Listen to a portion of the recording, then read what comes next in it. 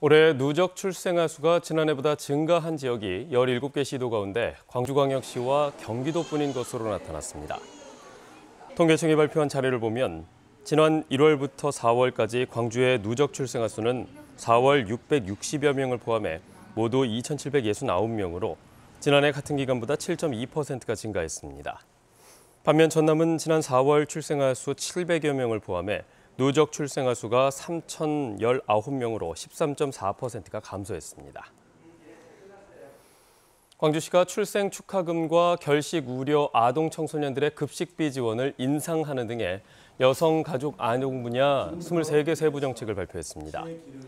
주요 정책으로는 100만 원씩 일괄 지급하던 출생 축하금을 내년부터 둘째 아이는 150만 원, 셋째 아이는 200만 원으로 차등 지급하고 결식 우려가 있는 18세 미만에 대한 급식비 단가도 기존 5천 원에서 1천 원 인상하기로 했습니다.